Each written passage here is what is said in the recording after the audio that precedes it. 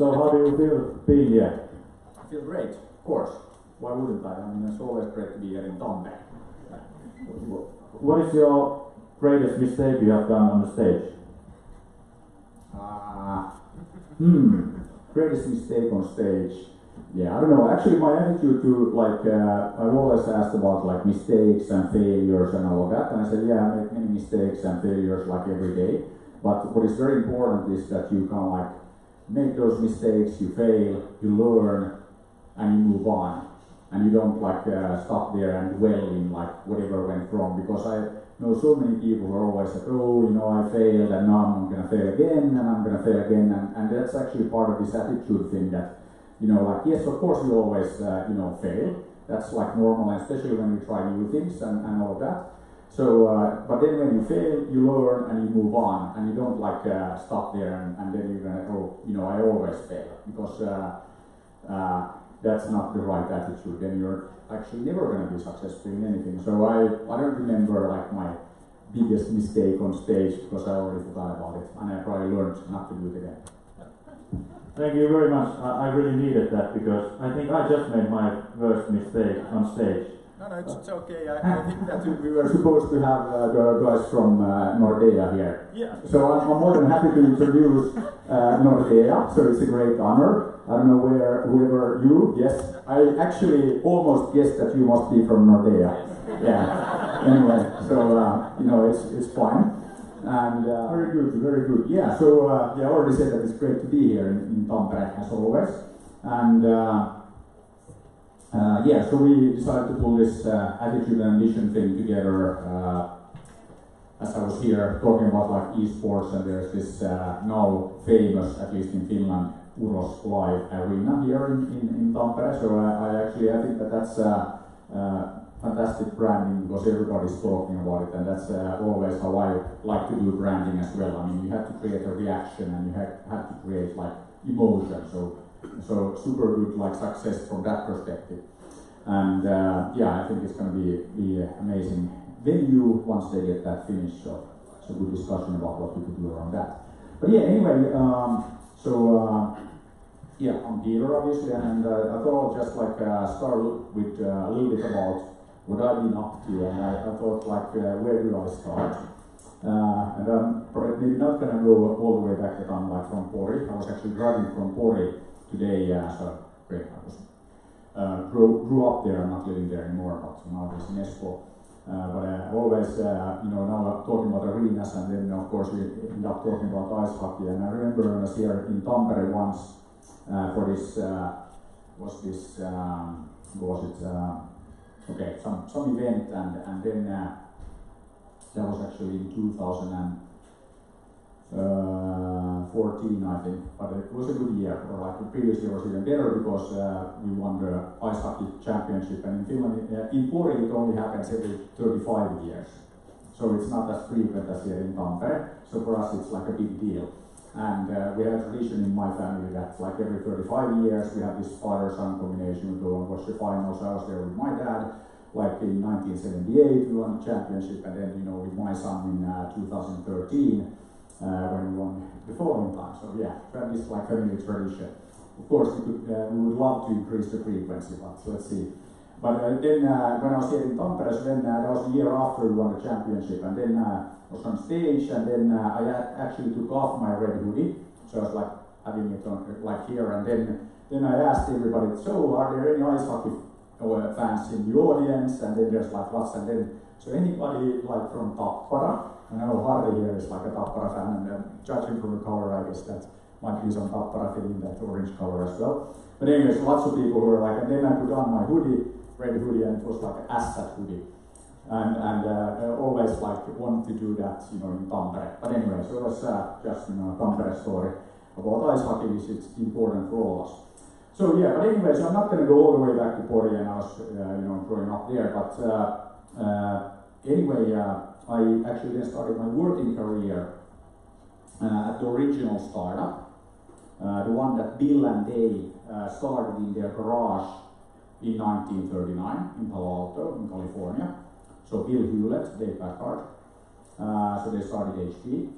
And uh, okay, in 1939, I always have to say that it was, you know, before my time, so I wasn't there. But, uh, but because always when we have younger people, then it's like, okay, you must be like really old.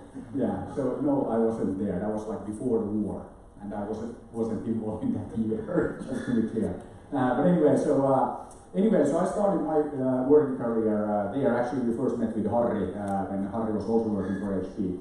Uh, but yeah, anyway, the reason why I bring this up is that I, I met with both Bill and Dave when they were still like alive, and fantastic entrepreneurs. Because not only did they start HP, you know, fantastic company and lots of like cool stories and culture and you know like all that, but they actually started Silicon Valley. So if you go to Palo Alto in California, there's, uh, you know, uh, you'll still find that garage there. That is actually the first historical landmark of Silicon Valley. So it's, uh, you know, not a very impressive garage. It's just like a tiny little garage, but it's, uh, of course, significant because Silicon Valley was started there. And uh, reason why I bring this up is, is that uh, it's also an example of the fact that it takes a long time to build these things. And, and uh, nowadays, everybody wants to be Silicon Valley of this, Silicon Valley of that. And, and uh, they don't, yeah, many of the people who want to do that, they've never even been to Silicon Valley. And I mean, Silicon Valley, fantastic place. I, when I was working at HP, I was there like once a month. And uh, yeah, it's, it's uh, no doubt about it that it's, it's one of the epicenters of uh, like startup activity and entrepreneurship and you name it. So of course it's a good, good role model and it's a great place. So yeah, started there, learned a lot, and also uh, while I was at HP, 1999, I was actually because I you know couldn't keep my mouth shut, you know, talk a lot. So then I ended up uh, first when I was working for HP in Finland, then I got invited to be like do business development in Europe. And then I was like complaining about something, and then they said, "Okay, Peter, why don't you like take care of this?" Was talking about like mobile and, and stuff. And then, uh, um, yeah, and I also uh, tried to convince the HP guys that we should do more here in Finland because this mobile thing ha started happening here much before most places. And uh, uh, I remember in like 1996, I tried to convince Joe Birnbaum, was running HP Labs, that hey, you know, uh, why don't we do something uh, here in Finland? You know, we, we have ended up, you know, like uh, telling the rest of the HP organization what to do because we had the first like GSM operator and Nokia was gone becoming successful and all that. Uh, and then in 1996 was like too early, and it was like, okay, but hey, Finland is like far away and it's cold and dark, and like, why, why, why should we do anything more there? And uh, then uh, I was actually very lucky that we uh, my boss at the time when I was doing this European like business development thing. Uh, he was on his summer vacation, and then uh, in 1999 there was this strategy planning session in Palo Alto, so again uh, you know, back at HQ. And uh, my boss told me that, oh, I'm on vacation and they have some strategy session. Why don't you go there and check it out? And uh, I did. And what had happened in 1999 was that, uh, and those of you who were around might remember that there was like this little thing that, like the web, you know, and internet started happening. HP right there at the center of Silicon Valley, very successful selling something called a client server, you know, systems to all these big corporations. They completely missed this uh, internet thing. And they're like, how could you miss like the internet and the web? But uh, again, it happens to many companies that when you're very successful, that's actually the most dangerous thing that can happen to you because then you think that you figured it out and you don't need to do anything new and you don't need to come out really, you know, just keep doing what you're doing. And that's actually happened to HP. Very successful selling all of these like uh, server systems and whatnot to big corporations. And then uh, there's this like uh, up uh, and coming little company called Sun Microsystems that started running ads that we are the dot in dot .com. And then all of these guys doing dot .coms, uh, they started calling these Sun guys because apparently they had something to do with the internet. So when, when you wanted to be online, you called those guys and bought some servers, and you didn't call HP because hey, those guys, what do they have to do with the internet? Anyway, so that was, was what was going on. So I was then at this strategy session in Palo Alto, and they were talking about like what's next, how can we recover from missing the internet. And uh, then there are some like very smart people in the room and they have come up with this thing that, oh, everything will become a service. So we started talking about something called e-services. Okay, and now nowadays, of course, we take that for granted that, you know, everything is in the cloud and it's out there, virtual, and, you know, like you don't need to install your own servers to use email. But in, back in the day, if you wanted to have an email system for your company, you had to buy a server and like all this software and blah blah blah. You know, so uh, yeah, we've come a long time. But anyway, uh, those uh, smart people at HP have figured out, okay, everything is to become a service. And then because I was from Finland, I said that yeah, I think that's like really cool, and I think it's everything is going to be like a mobile service. And then I was told that mm, yeah, you guys in Finland, yeah, you might want to carry around those like mobile phones, but here in the US, we have so many pay phones that you know nobody wants to carry a phone around. That's like you know doesn't make any sense. Of course, the mobile phones at the time were a bit bigger, and maybe it didn't make sense to carry around. But I think it's also a great example again of this not being able to see where things are going. Of course, now we laugh at this that oh, you know, like payphones. I mean, like, what are those things? You know, you can might still see some of those phone booths around, but but, it, but I think also there is a Tampere connection that now that we've got rid of phone booths and payphones, then there's this like Framery company that is bringing phone booths back, of course, in a bit uh, different shape, uh, form and shape. But again, always like these cycles of innovation, and there's always opportunity to do stuff. But anyway, so then because I couldn't keep my mouth shut and I was saying uh, all these things about like mobile, and they said, okay, Peter, why don't you like do something about it? So okay, fine. And then uh, uh, we defined this like mobile e-services strategy. And uh, of course, if you look at like the world, so it's not like the HPs and the big corporations are like the source of all innovation. Actually, it's probably like the opposite. And that was one of the reasons why HP missed this like uh, internet thing that you know big successful corporation didn't see what was like about to hit them. So uh, uh, again, to get into this mobile game, we needed to find the people with the cool new services, the startups. So then we proposed that hey, why don't we create this new entity, uh, the HP Mobile E-Services Bazaar, or just the HP Bazaar for short to attract all of these startups to work with HP, you know, to put their uh, cool new services on the boring like HP infrastructure, the boring HP servers. So we actually then, October 1999, so more than 20 years ago, uh, then um, announced that we're creating this HP Bazaar in Helsinki, Finland, Silicon Valley Mobility. Then everybody asked like, oh, so uh, where did this that come from? Actually, Carly Fiorina, who became the new CEO of HP, in 1999. She actually came from Lucent, and Lucent, when uh, HP missed the internet, Lucent managed to miss this little thing called mobile. And of course, uh, back then, if somebody would have told, you know, uh, the audience that okay, this Lucent company will actually be part of Nokia, it's like, oh right, you know, Lucent. I don't know, remember how much bigger they were than Nokia. They would probably have told you that you're crazy. I think like, yeah, right, you know, Lucent, that's like a big corporation. Nokia is like some tiny little company from Finland. Uh, but of course, uh, if you look at history, Nokia actually acquired uh, Alcatel-Lucent, uh, so basically it happened. But anyway, so uh, you need to be awake. But yeah, so Carly, uh, of course, immediately got the point that why mobile and why like this internet thing.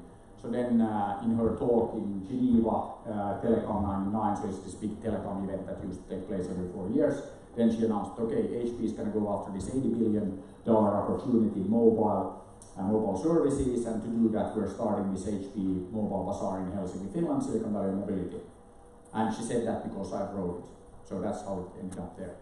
Anyway, uh, and then we started getting phone calls from the city of Helsinki that, oh, you're starting this HP like global entity in Helsinki. And I said, no, we're actually in Espoo, and then they lost interest. So uh, already back then it was impossible to do uh, collaboration across like city borders in Finland, so it's still like the case. But anyway, I'll get to that. So yes, then we started this HP Bazaar thing, and the, uh, the point there. Uh, so you might ask yourself that okay, Bazaar, like what what is that? Everybody else, our competitors at the time, we had IBM and Digital, which then became Compaq and then actually part of HP. All of these guys, they were doing all these like uh, wireless competence centers and excellence centers and like super boring corporate like things. And they did those and then they like got uh, didn't weren't too successful and they kind of like died away. And we did the bazaar. People asked me like peter so what is this like bazaar thing? It's like partner program developer program marketing program like what is it and i said it's all of that and more and the point with the bazaar story here is that it's about brand it's about the story we're doing like roughly the same thing as everybody else but we just branded it properly and we created something that created a question competence centers. I mean, you know, super boring. Why would you even, you know, like care? And why would you ask any question? No reaction. But Bazaar, okay, tell me, what is it? And actually, what it was, it was like this kind of like a, kind of like a co-working space, but we had it at the HP office. Uh, it was uh, also we run hackathons, but we actually before hackathons we called them Bazaar camps, 60 hours of non-stop development. We gave the developers uh, laptops, developer tools, sleeping bags. Still proud that we branded them that I sleep with HP. Not maybe appropriate from a corporate perspective, but again, a bit better branding than like many other things. And uh, yeah, so the, the whole point is we basically wanted to create a very easy way for these cool new startups, you know, working on these new services to work with us. And we worked with, for example, Yomi Media, a company from Jyväskylä, they created a sort of thing called ringtones that you might remember, they were a thing back in the day. Still, I always share the story that, you know, like um, when I actually first shared this mobile e-services strategy, I was in Atlanta in the US there was an event called Supercom, and then I wanted to explain what I meant with these mobile services. So I took out my like then Nokia phone, and then I downloaded a ringtone. And actually, it, this is ice hockey related a little bit because uh, uh, Finland won like the world championship in ice hockey. You know, big deal. Uh, wasn't supposed to be possible and stuff. So I downloaded this uh, um, uh, uh, Ihana Leijona, Ihana song, and then I played that. Of course, nobody recognized that, but I didn't share the story. And then, then, uh, then uh, I said that this is, you know, example of these mobile services I'm talking about, like downloading ringtones. And then there was an elderly gentleman in the audience who was like, "Yeah, but Peter, when are you going to talk about the real services?" And I said, "Like, what do you mean? I mean, this is like very real. And guess what? Uh, we delivered this to this operator called Connect One in Austria, and it paid for itself like in two weeks. So that's like pretty real to me you know, lots of money. And actually ringtones were the biggest part of the music industry at one point, so it actually was like a bit relevant and a bit real. And, and uh, what, when we delivered this, uh, actually together with Yomi Media from Jyväskylä, this ringtone service, so we were pitching it to Connect One, so a mobile operator in Austria. And then they told us, a little bit like I was told that, okay, you don't need mobile phones because payphones. Then they told me that, oh yeah, you know, ringtones might work in Finland because it's cold and dark and you have nothing else to do. So, you know, like, but it's never gonna work here in Austria. So I said, okay, fine, let's make a deal. We'll give you everything for free, but we'll take half. I said, okay, fine. So then we gave them the server, software, everything, and we got it installed, I think, November that year. And then, uh, uh, yeah, Christmas happened and like all of that, and everybody got their Nokia phones, and it paid for itself in a couple of weeks. And they never made a deal like that with us ever again. So uh, it was like fantastic deal because we made half the revenue, so it's like pretty cool. And the servers only cost like a few hundred k, so it's like very good deal. But again, just an example that uh, you shouldn't say never because you never know, and you shouldn't basically think that you know things better than like the market. So, uh, so I think that's something that is very very important. But anyways, that's what we did at this HP Bazaar thing that we attracted startups to work with this not so exciting, you know, boring uh, corporation. And we attracted like six, seven hundred startups. We actually then ended up doing these bazaar sites not only in Helsinki, but Espoo to be exact, but you know, Helsinki for the whole metropolitan area. Uh, and then uh, we ended up in Singapore because Carly, after this announcement, went to Singapore, HP being the biggest employer after the government there. Then she met with the prime minister, and then a few days later, I get this message that, oh, Carly met with the prime minister, and they talked about some bazaar thing, and they agreed that we have to have one in Singapore. So then, get on a plane, Singapore, done, HP Bazaar Singapore. And then we went back to Cupertino, so back to Silicon Valley, sent one up there, then we did. Uh, uh, Tokyo, uh, because Japan was very much like leading in mobile back then, and uh, then we ended up doing these bazaar sites in London, Amsterdam, Milan, Toronto, Bangalore, Beijing, Shanghai, bunch of places. And as I said, like six, seven hundred companies that we work with. And uh, yeah, pretty successful and uh, became some kind of industry benchmark when it, uh, when it was like about creating mobile services. And, uh, and I think uh, very important thing there that it was about the story, about the brand. And uh, yeah, we won because, because of that. and then 2003, when I was doing that Bazaar thing, then uh, Nokia had just come out with their like first smartphones, the amazing 7650 and 3650. Some of you might remember those with the tiny little like uh, color screens running this Symbian operating system and all of that. Uh, I think the resolution of the screens was 176 pixels times 204 pixels. You know, somebody probably here knows better. I think it was something like that. So not like amazing compared to these like uh, displays that we have nowadays. And then you have these GPRS networks, and the throughput was like I don't know, few K. and, you know, so not not talking about megabytes or anything like that. But anyway, so they, Nokia came out with those phones, and then uh, wanted to have multiplayer games so that we could sell some servers to power those. So we organized a game making competition in 2003, and we organized it at the Assembly event, which is like uh, the birthplace of the Finnish gaming industry pretty much. Uh, so that's like gathering of like a couple of thousand people every August uh, in, in, Helsinki, uh, where people get together, write demos, and play games and all that. So 2000, 2003, we organized a uh, competition to make the best possible mobile multiplayer game, and then uh, Niklas, Kim, and Jarno, so three young guys from Aalto University, or the TKK, so Technical University back then. Uh, they took part in this uh, competition and they won the competition. And then uh, after the competition, they came to me and said, "Okay, like Peter, like now what? Uh, we won this competition. What should we do?" And I told them, uh, and I always use the same like advice for everybody that you should do what you love to do. So you know, like why don't you start a company to make games? And then they started this little company called Rovio in 2003, and then four and six years they made 51 games, and then uh, bit over 10 years ago, 11th of December 2009, 52nd game, Angry Birds came out. And uh, again, example of uh, things taking a bit of time. So just like Silicon Valley took a few years to build, uh, also the Rovio and the success story took a few years to build. So it didn't like happen overnight or anything. So then uh, I joined uh, uh, Rovio's Mighty Eagle uh, for like six years. And when I, so Niklas and the wanted some help first in the US, and yeah, know my way around there. So I went to talk to Apple and Google and actually HP because HP had bought Palm. Some of you might remember that company.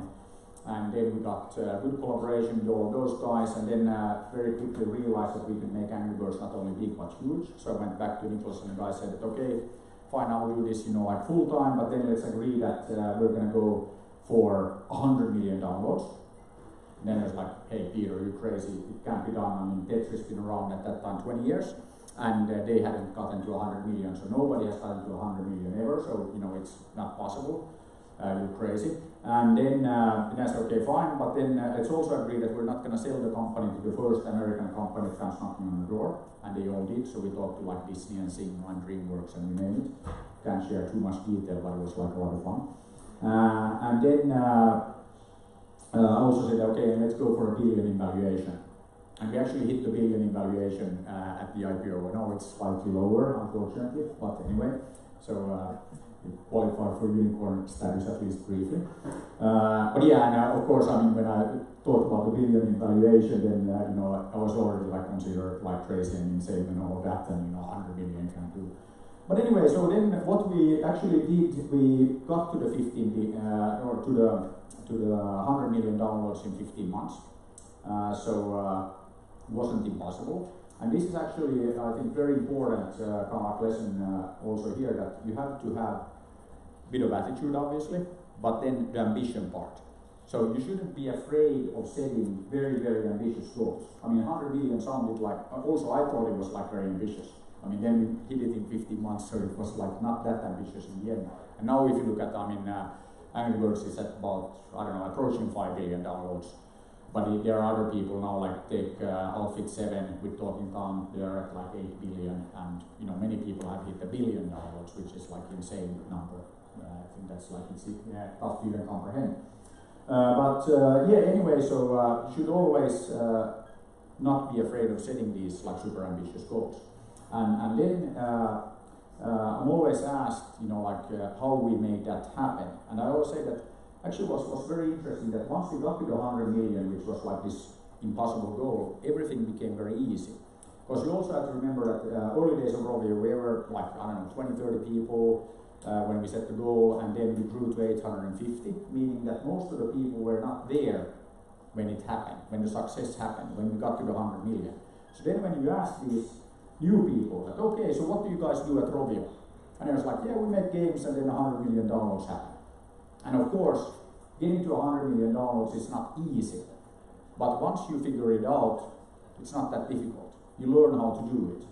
And, and I think this is very, very important. Learning by doing, and then, you know, like, you know, how, how difficult is it? And I think that there are very, very few things that actually are impossible, as long as you don't have to break like laws of nature or anything like that. And I always answer the question when I'm asked, how did you guys make the success of Angry Birds? How did you make it happen? Uh, I was actually in Tashkent in Uzbekistan, you know, like uh, two weeks ago. Uh, first time ever, interesting place. And then I was asked the same question, and then I told them that you know, you know, besides you know, uh, you know, Finnish people. So uh, you know, everybody knows that Finnish people best marketeers on the planet. So you know, of course, because of that, it's easy. But another, you know, not so well-known secret is that everybody in Finland knows how to walk on water. That's how we made it happen. And they're like, what do you mean, like walking on water and, and, and all that? And then, then uh, you know, the, of course, everybody here knows that it's very easy because you come here a normal winter, I should say, then the water is frozen.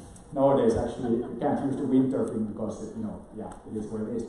But, uh, but I think that this is very important because many things in life, first you think that, hey, walking water, that's like pretty difficult, maybe even impossible. But then you figure out, oh, if, if it's frozen, it's like not so tough. So the same thing with the 100 million downloads and what happened at Rovio is that we figured out how to do it. So of course it's not easy, but we learned to do all these crazy things like we launched Angry Birds Space together with NASA on the International Space Station. We got Don Pettit, the astronaut who was there at the time, to build this like real life Angry Birds game on the space station. And you know, doing this video talking about gravity and uh, uh, microgravity, gravity wells, all, the, all this cool stuff. You can still see the video on, on YouTube, and it didn't cost us like a dime. I mean, we, because NASA couldn't charge us, it's like a public, you know, service and stuff. So uh, funded by American taxpayer money. So of course, happy to use that.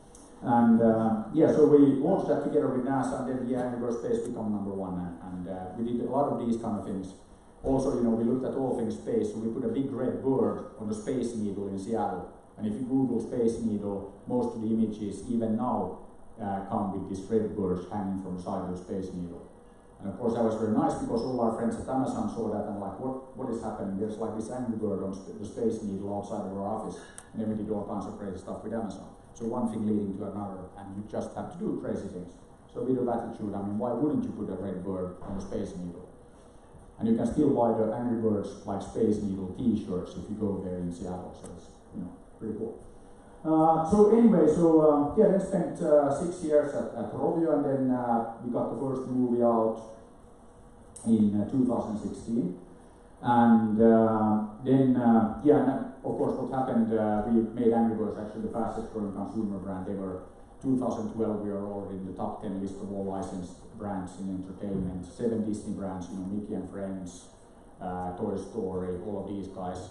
Hello Kitty, the 40-year-old cat character by Sanrio in Japan, and then uh, uh, Peanuts uh, has been around since like the 50s, and Angry Birds since 2009. So in like three years we got to the top 10, which is pretty cool. So uh, yeah, fastest growing consumer brand ever. 93% of the Chinese population, 91% of the Indian population, 9 out of 10 people on the planet uh, know the brand. So uh, again, of course, as I said before, easy for us because Finnish people best marketeers on the planet. So you know, you know that's how it happened.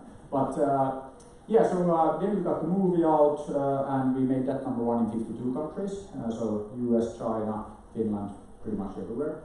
So then it was a good time for me to uh, you know step down and leave like the day-to-day operations at Rovio because guys there know what to do.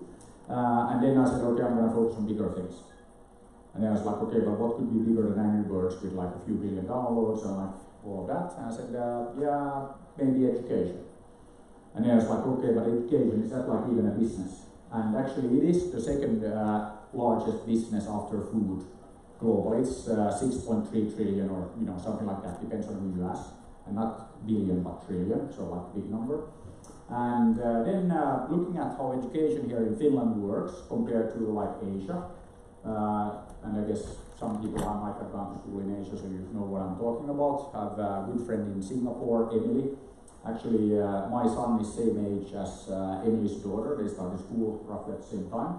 And then we, you know, like always when we meet with our friends, uh, talk about the kids. And then, uh, then I was just comparing, like, okay, Emily's daughter going to school six in the morning, first day of school, uh, being told, you know, these 50 things that don't do this, don't do this, do this, do this, you know, 50 things that you're supposed to do, not supposed to do. And then the school days are like crazy long, so you get home like at 10 in the evening, and then uh, uh, after that you have uh, two or four hours of homework. Actually, if you look at China, which has the same crazy model, average high school kid, four hours of homework every day. So not like a week or something like that, but every day. So long school days, massive amounts of homework. Actually, what has happened in Singapore, uh, they have so much homework that the kids can't cope with it. So you know what happens? Parents do the homework on behalf of kids. And here in Finland we laugh, but it's like reality. And, I, and it's even crazier than that. Some of my friends, you know, who are parents, they go to school in the weekend because otherwise they will not know how to do the homework on behalf of the kids. And here we laugh, but that's like the educational hell of Singapore. That's how it works. And then it's even crazier than that.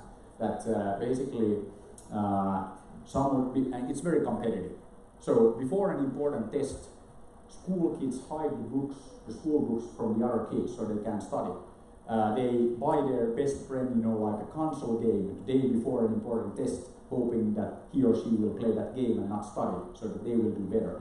I mean, and then for a Finnish person, like, what? I mean, that's like super unhealthy society.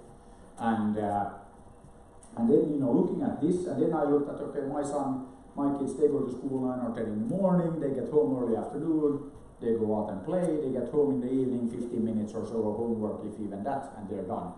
Fantastic results. So, uh, you know, when I looked at that, then clearly uh, we have the best educational system in the world here in Finland, best school, you know, no doubt about it.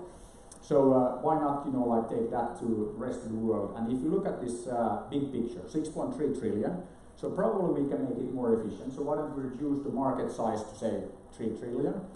And then because we're modest Finnish people, should be clear by now, uh, then let's go for only 10% market share. And if you do the math, it's still like 300 billion a year. So that's what I'm doing now. So the next 10 years, the plan is to get to uh, 300 billion annual revenue around education. And then typically I get a question like, so who exactly? And then I always, uh, and I was actually happy to see that we had this uh, in the uh, title slide that uh, Peter and friends. So I always say that we are going to make it happen. And it's like who? Me and my friends. Okay, me and some startups that I either invested in, started, advising, so working with many companies, about 30 companies I'm working with right now. Uh, some of, of, them I'm invested in, some of them I, I started, some of them just like advising. And uh, yeah, the plan is to get to that 300 billion in 10 years, so transforming education globally. So that's the plan. And of course, to cope with this massive growth that we will see here, then uh, we have uh, uh, also uh, started this little growth uh, generating project connecting these two fantastic capital areas into one metropolitan area, so Helsinki and Tallinn. And of course, then if you look at the picture here, there's also Tampere. So we have this finest Bay Area project. So we're building a tunnel between Helsinki and Tallinn. It's 15 billion euro project. Started it in uh, actually also in 2016, so we've been working for a few years now. Uh, and the idea is to reduce the travel time between Helsinki and Tallinn from currently two hours by ferry uh, to roughly 20 minutes by train, uh, airport to airport, two stations in between. And uh, the plan is to have the first trains running 24th of December 2024. And uh, uh, we're on track, so basically you can already buy tickets. It's 50 euros one way, 100 euros return and uh, yeah, basically building like this uh, metro connection between Helsinki and Tallinn. And uh, the tunnel itself uh, is not super interesting. I mean, uh, or okay, some people get excited about tunnels and metros and things like that, but that's just like infrastructure, so it's pretty boring. But what's interesting is what it enables. So first of all, it makes Helsinki and Tallinn one city, and it also makes this whole finest Bay area more integrated. So we have then slightly at the periphery, also part of our like area, Stockholm and St. Petersburg. So uh, everything here around the water bringing together. There are some other Bay areas, so there's the Greater Bay Area, and we had actually a fantastic delegation go there uh, last year in August around Slush uh, Shenzhen, but it's like Shenzhen, Hong Kong, Guangzhou, Macau area in China. And then uh, somebody told me that there's like some uh, Bay Area in the US as well, but obviously it's not the finest. And what I always say here that it's not just me saying that it's the finest Bay Area. It's actually based on fact. Because it's Finn from Finland and Est from Estonia, so it really is the finest Bay Area. So it's you know not uh, you know like some you know like uh, something that we made up, but it's actually like true. It's the finest Bay Area. So that's what we're building. And uh, there's also this uh, education angle here. So uh, we're building a tunnel. I said it's 50 billion euros, so it's quite a significant uh, project. Uh, but uh, the most important thing is what the tunnel enables. First of all, we're building four station areas. All of them will accommodate for 50,000 new people living and working and studying in those station areas. So adding 200,000 people to the metropolitan area 20% will be students. So actually working with the team from Edunation to bring 150,000 foreign uh, university students to Finland, 40,000 to Estonia uh, in the next five uh, or so years. And that's actually one reason why I'm here in Tampere today, because we also would like to significantly increase the number of foreign students here in, in Tampere. Why? Because then when we have more people here, and many here know that, okay, there's nothing else to do for the foreign students than to start companies or join a great startup. So it's going to create like amazing new opportunities for everybody involved. Uh, so, so that is uh, one of the reasons there, and you know, generating a bit of growth and then you know more well-being. So that's that's kind of like a reasoning behind uh, the tunnel, which you know uh, is is just a tunnel, as I said. And uh, yeah, then that's uh, you know kind of like the main main activities that I'm, I'm doing right now is education and and uh, then enabling a bit of growth in this finest Bay Area. Uh, one one thing uh, I should also mention so uh, uh, slush because we we actually started slush in 2008. How many here have been to slush? Like pretty much everybody. Or I hope most of you have heard about Slush.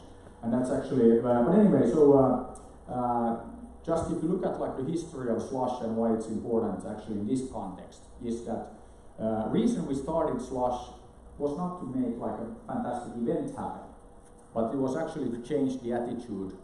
Uh, because uh, in 2007 I gave a talk to uh, about 600 students at Aalto University, and uh, I talked about entrepreneurship. And then I, uh, yeah, use some examples of like successful startups and, and uh, all of that.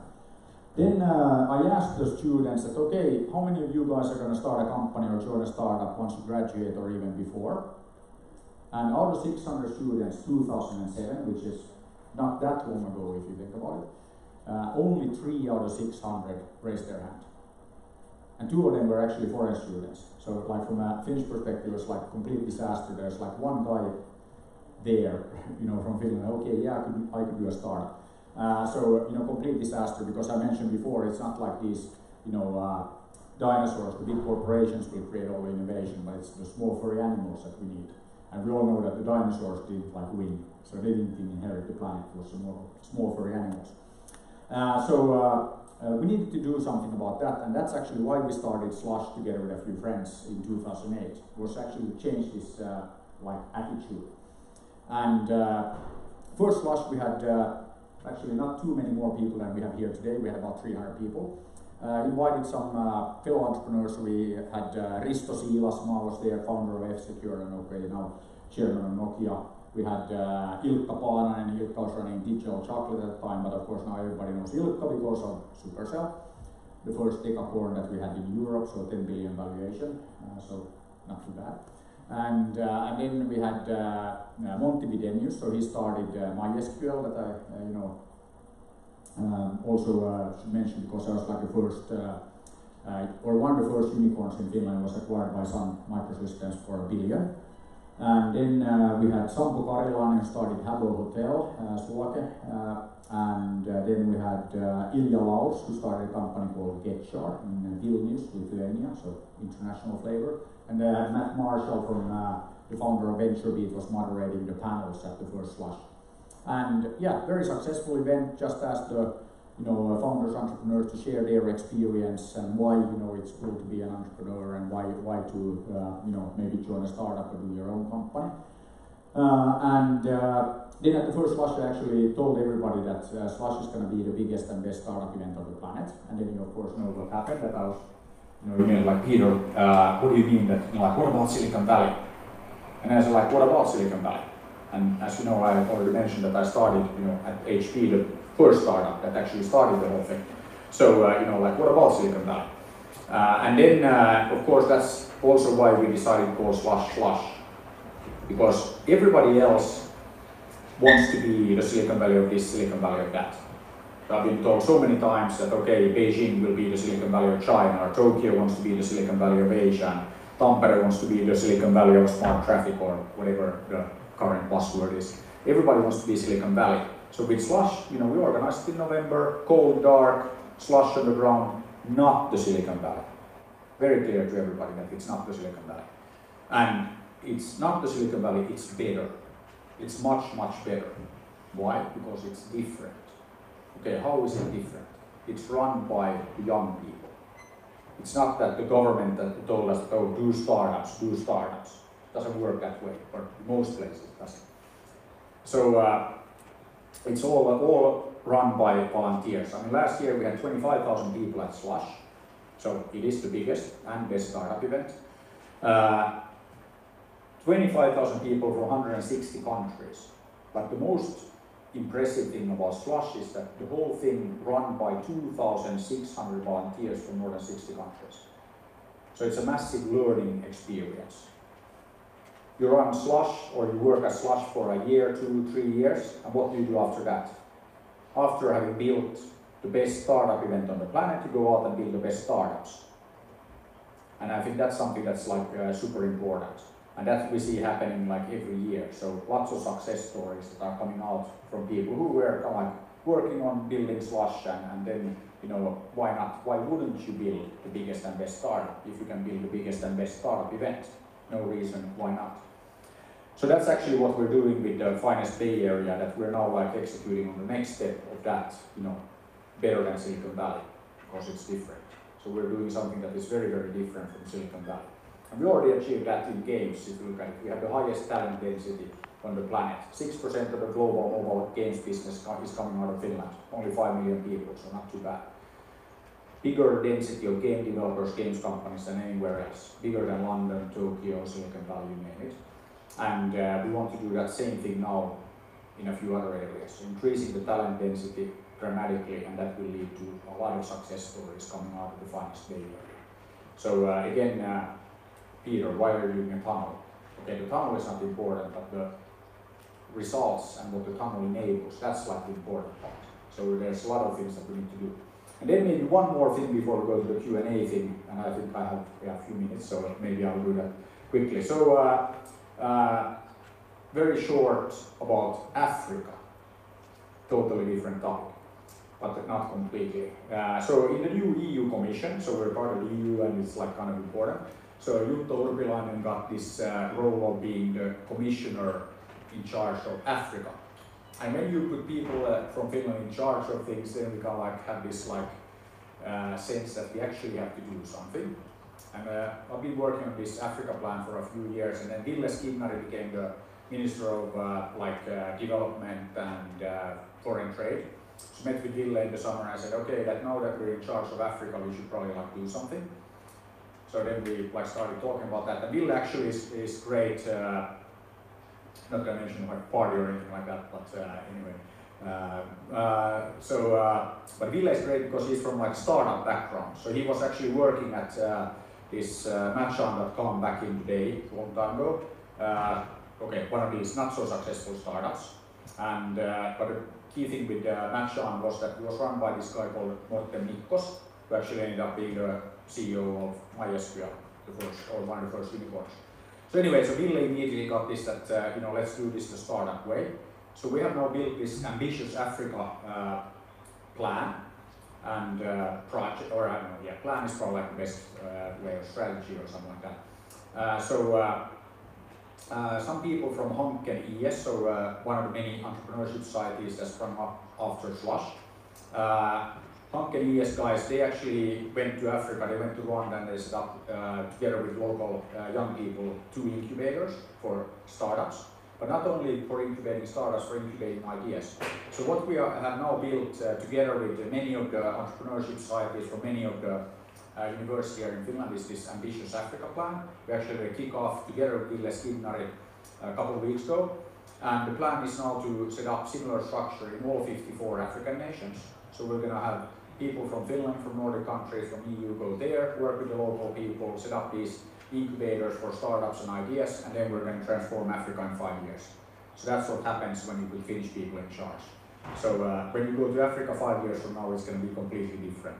So that's kind of the plan. And we also need the help from like all of you here. So we're building it grassroots. And maybe I finish with, you know, like what I mean by that is that uh, when uh, uh, Jyrki Katainen was Prime Minister of Finland, then uh, I actually was together with him at this uh, summer World Economic Forum event in, in China, in Dalian, and he was chairing a round table on entrepreneurship.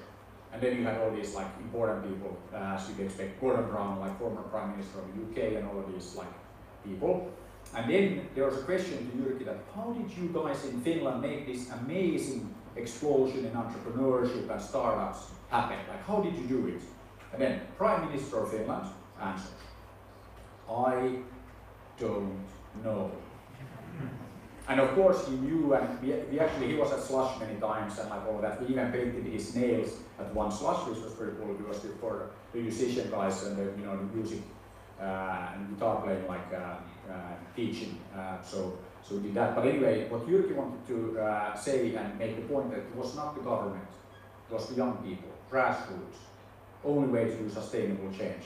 So now when I presented this ambitious Africa plan to some of my African friends, and they were like, "Yeah, right, people, we, uh, Peter, we heard this before that, you know, like you guys coming here, and you know, like then Africa's going to be different. So, you know, like why would this work?" And I said, "It's not us, it's you. You, your young people will build this. You will make it happen."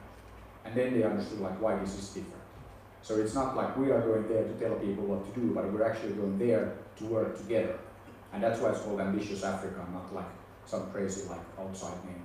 But anyway, so so uh, so we're working on that, and I think it's going to be like a pretty amazing project. And we have uh, lots of people now working on it. We have people from Lutes, so the uh, University of Technology Entrepreneurship Society guys are going out in Uganda and Kenya, and uh, many of these uh, things already happening. So we're not waiting uh, for the government to tell us what to do, but we're actually like doing stuff. So I think that's for me what entrepreneurship is all about. It's this attitude of doing things. Entrepreneurs are people who are doing, and this is something that is very important. And we need entrepreneurship not only in startups, we need entrepreneurship in uh, the big corporations, we need it in government, we need that like everywhere. I think that's very important. That's why I want to talk about like attitude and ambition today, because I think that's what it's all about in the end. And now I'm out of time, probably. Yeah. Okay. I could talk for hours, but I'll stop here. So yeah, let's do some Q and A. Thank you. So let's start. Peter, when you were a child in Porvoo, No, Pori. gotcha. Uh, Somewhere here, yeah. when you were in Pori, what did you think that you will become when you grow up?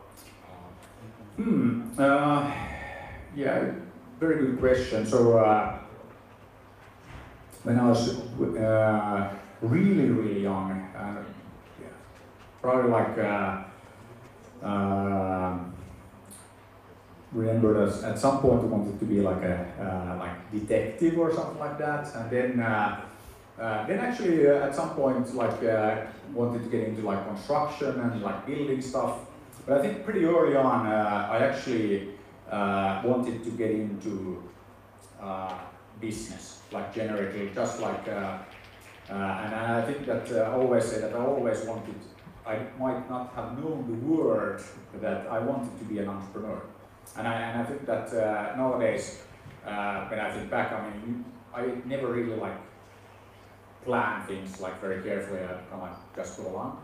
Uh, so I think that I always. Uh, uh, always been an entrepreneur, so I always enjoyed doing things, and uh, and I think that yeah, probably I always wanted to be an entrepreneur, but I didn't know it. You thought about being an entrepreneur, like what was the closest word that came to mind? Like what did you like to do? What was Yeah, but I, think there was like back then, and, and I think that it's it's a little bit like uh, the slush story of like 2007, asking people if they wanted to go like uh, be entrepreneurs or like do startups, uh, and and nobody uh, wanted. And, and actually, what was very interesting, uh, Jori Lallo uh, was one of the guys was there in 2007. He didn't raise his hand. Uh, but then he actually got interested and he like started Google and looked at TechCrunch and this is interesting and blah blah blah. And then he actually turned out, uh, or he, he came to the first slush as a volunteer, and then uh, Jori and then uh, uh, Karri, his friend, they started a company. Then they actually they ended up being the first two guys, first two entrepreneurs from Finland that made it to Y Combinator. And uh, then uh, Karri became like the head of design at, at uh, Airbnb, and then uh, Jori was at CoinDesk uh, and some companies probably in between. And now actually last slush they announced that they're now doing a company together with the third guy that I name escapes me. But, but anyway, the, the point that I'm making there is that uh, Jori didn't know that he wanted to be an entrepreneur because he had, during his studies at Aalto or TKK back then, never heard the word, never heard about startups. And um, this is like really scary when you think about it. Okay, now it's completely different, but uh, it's kind of like even weird for us to think about it now that oh, that how could you go through you know like your university studies and not hear about startups? But back in 2007, it was possible. And, and I think that okay, if I go like further back because I'm slightly older than that, that it wasn't you know like something that uh, people were talking about startups and you know all of that. That uh, Finland back then was very different.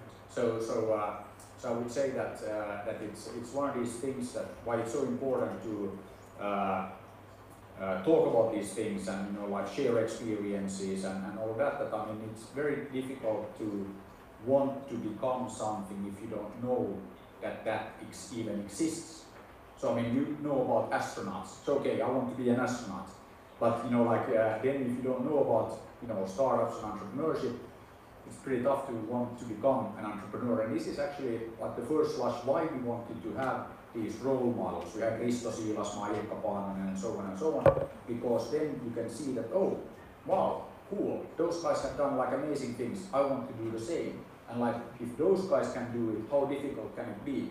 And I always love when Ilkka from Supercell says that, okay, they looked at Rovio, and if those guys at Rovio can do that, then we can do that. And they did, and much better. So, so I think that uh, role models are super, super important. And I'm not saying that you know everybody should become an entrepreneur and everybody should do a startup. Everybody should do what they love to do. But then you know uh, you need to try, you need to do many things. But the, the worst thing is that if you don't even know that something exists, how can you want it? So role model is super important. And this is a really, really good answer because it's really easy to build a bridge or a tunnel to the next question. Cool. and it's Ossi Numminen, and he asks, there's a study in Aalto University that Finns have a really low level of ambition. I don't know how this study is made. This might be fake news, but based on this study, Mm-hmm.